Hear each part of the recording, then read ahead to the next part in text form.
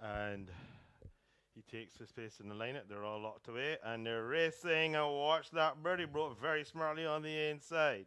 On the outside, racing second is No Not Again. Coming across from the outside is Justice League. Splitting horses is Seagull. There's two lengths back to Discreet last. My man going west. Brigadier Wood sees them all as they round the far turn and head up the hill towards the three for furlong marker. And it is now Justice League who has a two length advantage from Watch That Birdie. Another two back to Seagull on the inside. No, not again. Not going on at this point. My man going west is under pump. Discreet last being asked for more run. Brigadier Wood has seven to find and a quarter mile to find them in as they come to the quarter pole. And it's Justice League in front by a length and a half. Rashid Hughes sitting statuesque still on the outside. Here's my man going west. Watch that birdie staying on. Also here's Seagull with a run.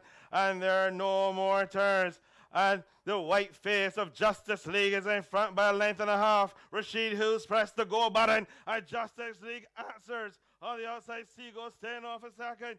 On the inside, no, not again, runs on to be third on the outside. Finishing fourth is Mike going west, and the winner stops the clock in 105 and 4. In a moment, a recap for you.